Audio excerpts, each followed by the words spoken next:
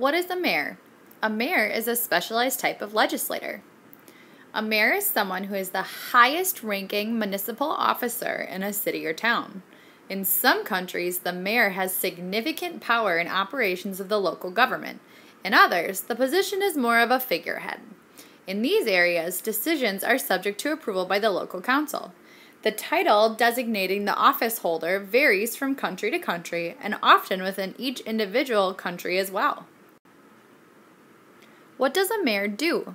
A mayor can be thought of as the chief executive officer of a municipality. Much like a chief executive officer of a business, he or she is often responsible for overseeing financial decisions, future planning for the locality, and public relations. The office holder often manages public safety services such as police and fire department as well. Many of the responsibilities will depend on the laws and customs of the nation and locality. In some areas, the mayor has a vote on local issues, which is the same weight as the city or town council members. In other areas, their vote might outweigh that of the city council members. Some localities give the office holder veto power. In any case, a strong understanding of the current issues concerning the locality, as well as a vision for the future, is required. The length of terms served will also vary depending on the local area.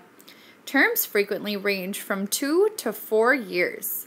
Some cities do not place a limit on how many total terms or years can be served or how many times a mayor can be reelected. Other cities have term limits in place.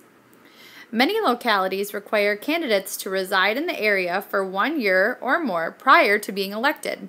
In some localities, the election is based on popular vote. In others, the election is based on votes from city or town council members.